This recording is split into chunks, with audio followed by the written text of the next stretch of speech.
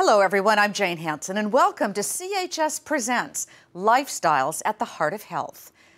As a parent, nothing is more important than the health and well being of your child, especially if your child is facing any healthcare challenges physical therapy, occupational therapy, speech language therapy, and pediatric rehabilitation. How Catholic Health Services can improve your child's quality of life with their compassionate pediatric care. Stay tuned for a wonderful overview of these services on today's episode of Lifestyles.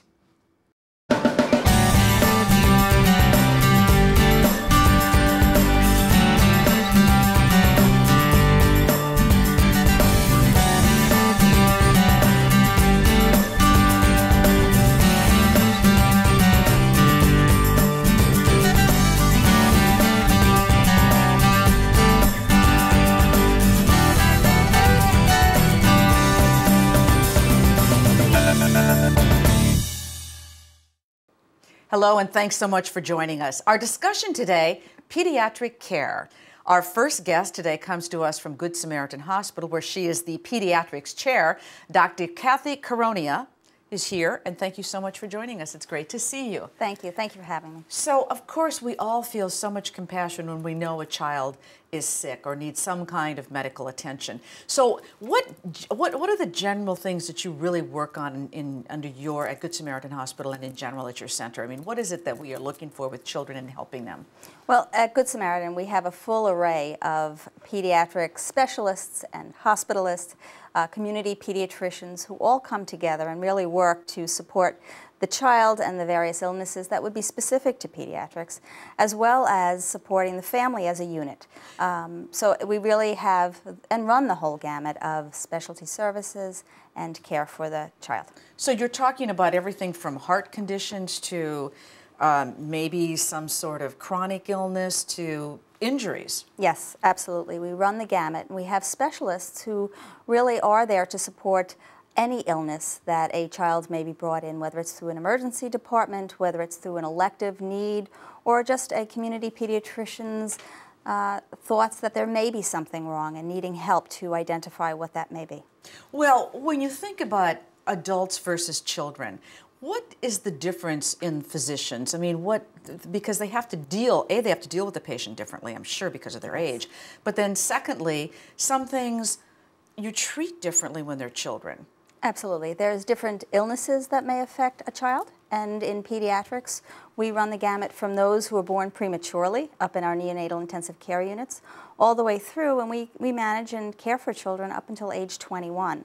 So we really do need to know a little bit about both, uh, and certainly there are illnesses, uh, needs that will be different for the child than it would be for the older adolescent or even the adult population. So what do you think is the difference between what a doctor has to do with a child versus an adult? Um, I, I, think that there are varying degrees. You need to know about the developmental status, what is normal at the various ages. Uh, what may be normal for a two-year-old uh, may not be normal for a five-year-old. So certainly you need to know those developmental uh, status of the child and, and compare that to what is um, appropriate perhaps for that age and to identify if there are any difficulties or problems uh, associated. When you think about um, kids and illnesses, and hospitals. I mean, there have been some tremendous technological changes over the past few years.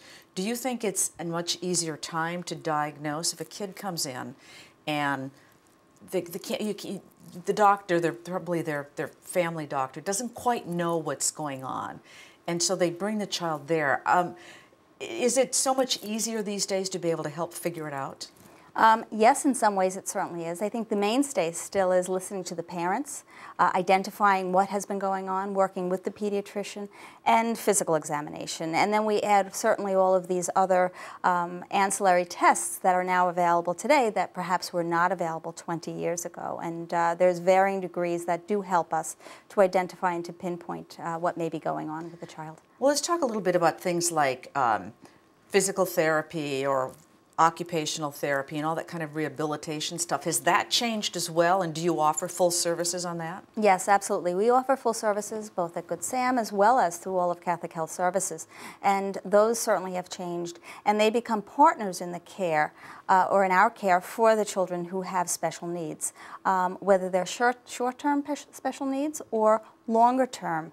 Um, we really depend upon them to bring children up to fulfill their potential. Uh, for parents who are watching this today and they you know sometimes as a parent you have a little bit of a suspicion that something isn't right with your child. But when is it important for them to come to you? I think the first is to bring it up to their pediatricians, to identify and have that continuity of care with their pediatrician, um, to work with them to bring up what they think may be wrong, and then to work with them in identifying what the appropriate specialist should be. Um, it may be a subspecialist, or it may be that they do need occupational therapy, physical therapy, uh, or just some supports within the home. So um, first and foremost certainly is to work with their pediatrician in, in identifying what avenue they should take and who may be the most appropriate to help them. Mm -hmm. And there's there's specialties and subspecialties in almost every field. Yes, absolutely. And you have them. You have that pretty much covered on staff at Good Sam. Yep, and they are all there for these patients. And how old does a child have to be before re, you know any kind of rehab is really effective? Um, basically, we start off certainly in the uh, neonatal intensive care unit. The physical therapists will come in and they will work with those children, uh, and it will continue at home. There's early intervention services uh, that is also part of this whole program, and uh, children as young as a few days old can benefit from physical therapy. Is there anything you're seeing today in the world of childcare that you didn't see when you first began your practice? Yes. um, yeah, I mean, for pediatrics in at probably every service and every specialty, there have been leaps and bounds. Uh, initially, uh, the child was thought of as the little adult, um, and they're really not. Uh, they have special needs. Um, they really do get different illnesses. They need to be treated and approached differently. And uh, certainly the technology that may have started in the adult population um, continues to get smaller and smaller so that we can utilize a lot of what is available in the smallest of babies. And I think we all, when we see a child that's sick, we feel so much more for them versus an adult because they seem, you know, they're so innocent and helpless. Mm -hmm. yeah. So that I think that that probably enters a lot into the way in, in which your people respond. You, I'm, yes. I'm assuming you have to train staff differently as well. Oh, absolutely. And we have, you know, from the physicians to the nursing staff, we have an entire child life department uh, and division of pediatrics that work uh, really hand in hand to care for these children throughout. It's, uh, it, it, takes, I think, special people to dedicate their time and their commitment to the pediatric patient. And it shows um, when we have children going home and blowing kisses, uh, despite what we've done to them, uh, and their families really giving hugs and feeling supported. Oh, that's great. So, Dr. Kathy Caronia, thank you so much for being with us today from thank Good you. Samaritan Hospital. And stick around, all right? We're going to take a quick break, but our discussion will continue right after this.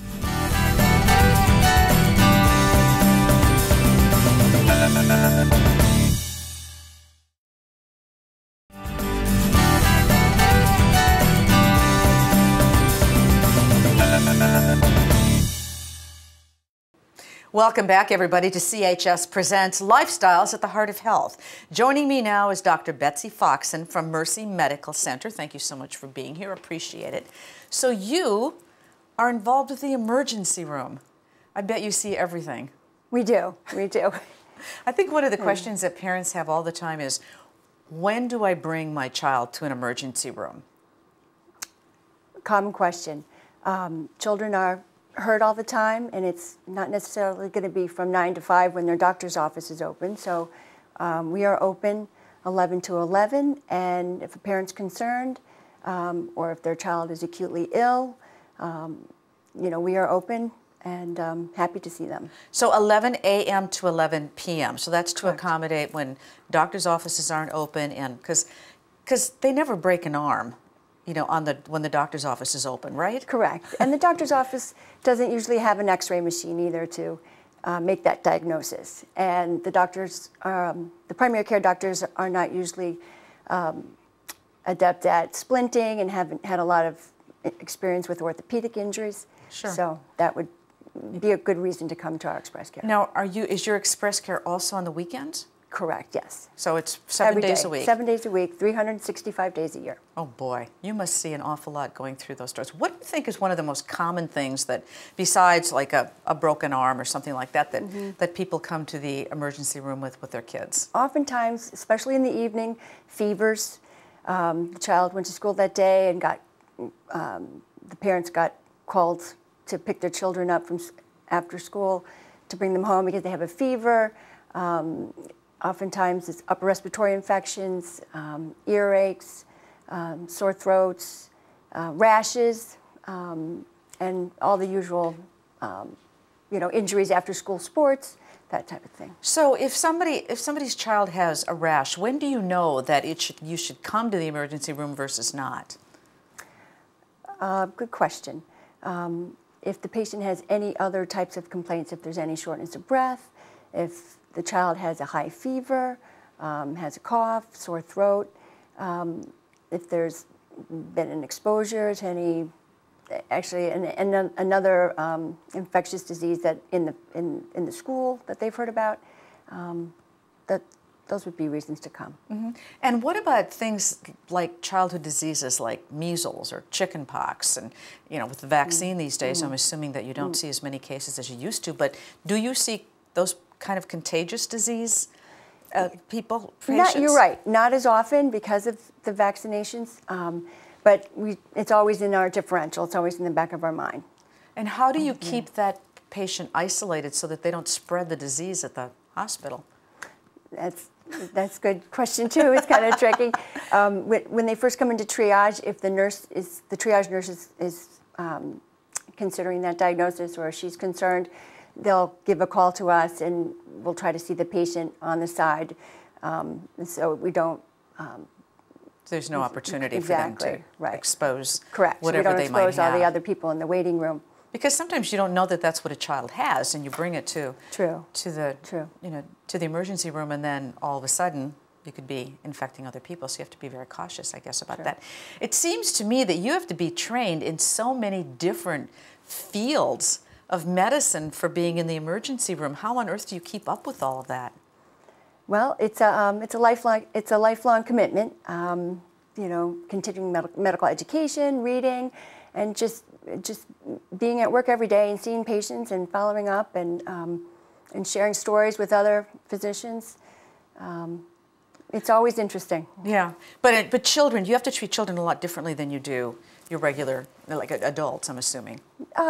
Yes and no. Um, uh, we also do see, you know, a lot of injuries such as the orthopedic injuries. Um, it, actually, X-rays, children's X-rays are a little bit different because their bones haven't fully formed yet, and they have like a lot of growth plates. Um, so there are several subtle differences that way. Um, and you know, as far as um, head injuries go, that's a whole other area to, to discuss, but we see that a lot in children, and um, we try to avoid excessive radiation with the use of CAT scans. So it is important to, um, you know, just to, to know what is normal development, what is a normal neurological exam for, at the different ages and the different, um, the different um, developmental stages of the Right. children. You, you just talked about head injuries, so, um, and you said that's kind of like a whole nother discussion. So talk to me a little bit about that. Well, with the advent of kids getting involved in sports younger and younger, and, and the astroturf that they're using, um, kids are hitting their heads frequently, and there's um, we're more aware now of the damage that repetitive head injuries can do, and how important it is that children are evaluated and kept out of uh, kept out of those activities that where they are at risk for re-injury. Um, um, and if the child is severely hurt, we do have the advantage that we do have a CAT scan You have a on, at- right at the facility that we could get that answer. If the child had a loss of consciousness and we were concerned about internal bleeding, we would have that answer. Is that unusual for your emergency room to have a CAT scan? And do, do all of them have that, or is that just yeah, that's very... pretty standard at this point now across the country. Everybody's got a CAT scanner. And but is there is there anything else that makes your particular emergency room a little more unique, other than of course the fact that you're there? Oh. Um, to versus other emergency rooms? Well, um, we have we do we are expanding our express care area to cater more to our pediatric population. We're going to have a new um, expanded waiting room that's very family friendly.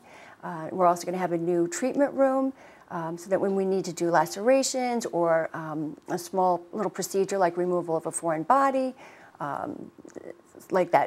You mean like when Yeah. they swallow coins? Yeah, when they swallow, or when they put something in their nose or their ears, Right. and we need to get them out, or they step on a, a piece of glass and they, we need to, to, to retrieve that. Oh boy, well, you have a busy life. It must be quite interesting to see what comes through your doors there. I'd love to have a report card one day, just one day, and see what's there. So thank you so much, Dr. Foxen, for being with us today. You're welcome, thank you. We are going to take another break, but don't go anywhere because there is more of CHS Presents Lifestyles at the Heart of Health right after this break.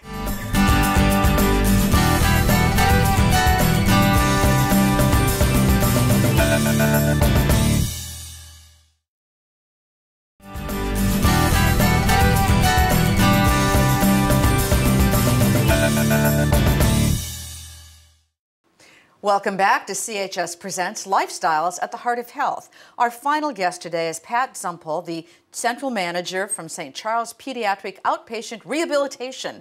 Long title. As we speak about physical therapy and other such things for young children, welcome. So happy you're here with us. Thank you. You have a big job to deal with all these kids when they're when they're brought in to, for some kind of rehabilitation. What kinds of things would bring a child to your centers? Uh, the children come in our center for delays, developmental delays, gross motor, fine motor, speech delays. We have babies that come with diagnosis of torticollis. We have some children that come post-injury, whether they've been in a car accident, have a TBI, or whether just break their leg and they need to have therapy afterwards. What was that you said about the babies? What was the It's called torticollis, and mm-hmm. we're seeing a lot of babies with torticollis. It's basically what happens is they have tightness in one muscle in their neck, which causes them to tilt their head to one side, and it develops all postural asymmetries. So what we're trying to work on is to improve their alignment, so they're not developing other problems, which could be like flattening of the skull, gross motor delays. So we work closely with the families on trying to get them to improve their range of motion, You can actually do physical therapy with babies? Oh yes, we start some days. I've had babies a couple days old that have come in for therapy. Wow. It- oh, mm-hmm. Well, I guess they don't talk back to you, but they, don't might talk, but cry. they do cry. So, what do you? I mean, what do you attribute to that? Because you say you're seeing seeing a lot more of that these days. well, over the years, we've seen more just because of the back to sleep that babies are sleeping on their back as opposed to tummy sleepers, which probably a lot of us did when we were little guys. Mm-hmm. And uh, parents are not putting their babies on their tummy as much to play, so they're not developing the strength and the control against gravity. Wow. So, um, that I'm sure that a part of that also has to be working with the parents because they're going to have to continue this on a regular basis because they can't bring a, a baby in every day. Correct. The parents are very involved in the treatment programs. All physical therapy and OT and speech in our center is one-on-one, so the patients are always with the patient, uh, with the with the therapist, and the families are involved. We're having them hands-on, practicing some of the activities. Uh-huh. And so the family becomes. It's it's almost as if your centers are really they're all about the family, the whole unit. Correct. The whole unit is there. So when um, when children come in for such things as you know simple breaks or some, something that's you know an injury that will heal pretty quickly on its own, as kids are pretty resilient. What kind of therapies do you do with them?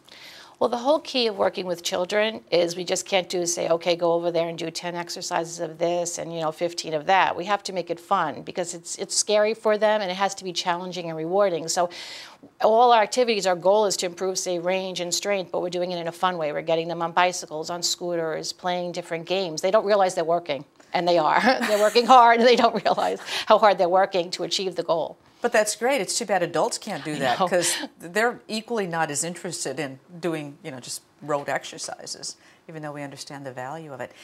Do you ever, what happens when a kid won't do things? It's challenging, but we just try to like divert them, try to give them reward systems. Some children we use a reward system. If we do this, then we'll get to pick a toy at the end that you'd like to play with. Mm-hmm. And speaking of your center, we had the opportunity to tour the Pediatric Outpatient Rehabilitation Center at St. Charles Hospital. Let's take a look now at the amenities offered to your patients and their families.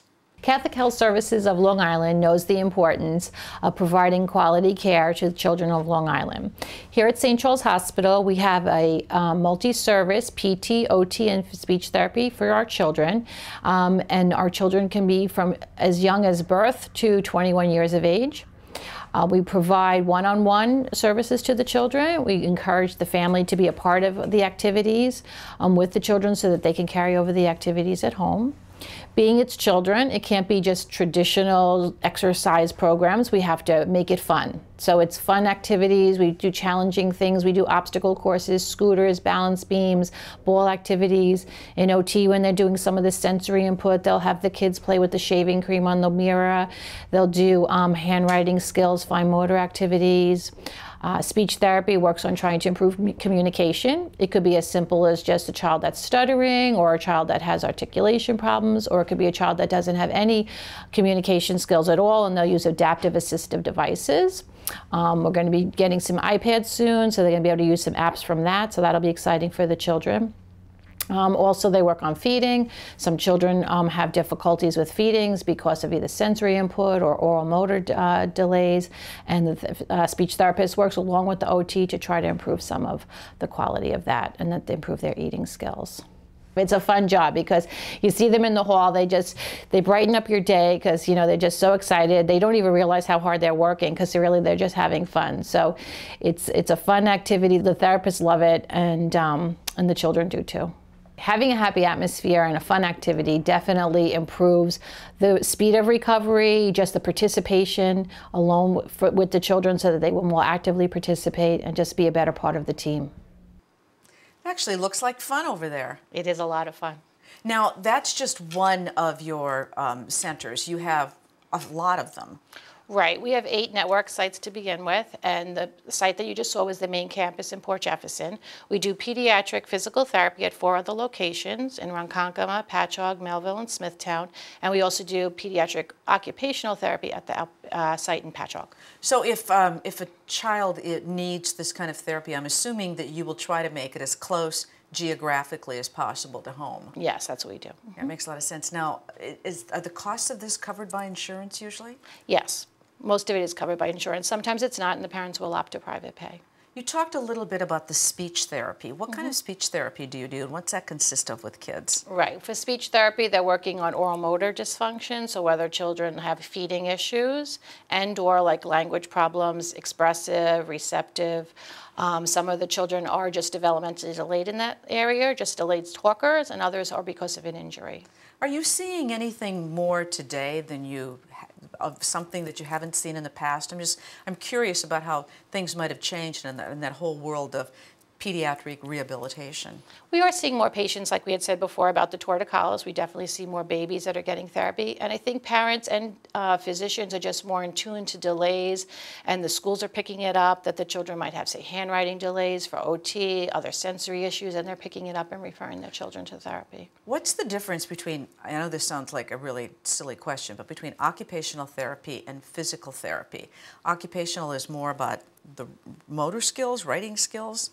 In, in, pediatrics, PT and OT have a lot of overlap, um, but we're really working on the developmental aspects of the children, whereas PT does more gross motor activities, jumping, hopping, skipping, whereas OT works more on the fine motor, the grasp, the handwriting, the upper body control, self-care activities, dressing, you know, children have problem with dressing and zippering and things like that. Mm -hmm. Do you, with, with kids who might have some kind of a chronic illness, do you, do you also treat them?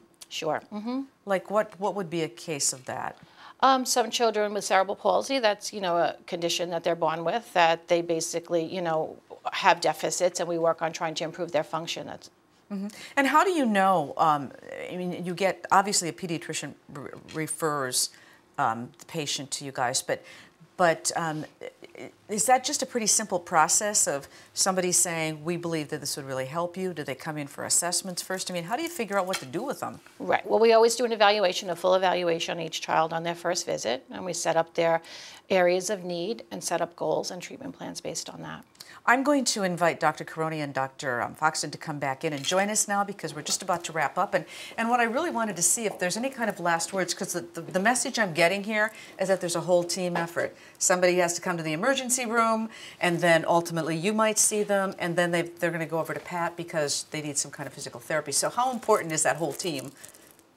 I think it really is. Uh, then that's uh, the chair of a child as well as their family really does take a team effort. And from the point of the first diagnosis all the way through to the treatment plan really needs to be a cohesive treatment team that works together with the family to ensure that children will reach their potential.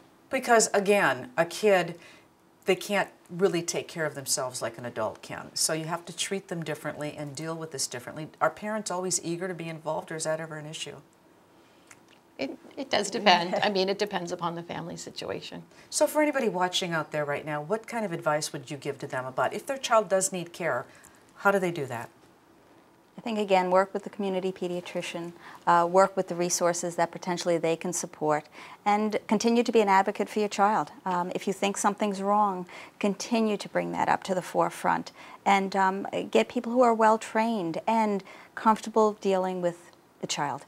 Um, not every doctor is comfortable with children, and you want to make sure that they are all well trained in the care of uh, the smallest of children. Yeah, well, and you guys clearly are comfortable working with kids. So thank you so much for joining thank us you. today. We really appreciate it. And keep up the good work. Thank, thank you. you. Thank you. Um, so we've had some great information that we've learned about today about the health of our children and of course the knowledge of where to go for the best care possible. You can always get more information or schedule an appointment at one of Catholic Health Services six outstanding hospitals. So call 1-855-CHS-4500 or visit the website chsli.org.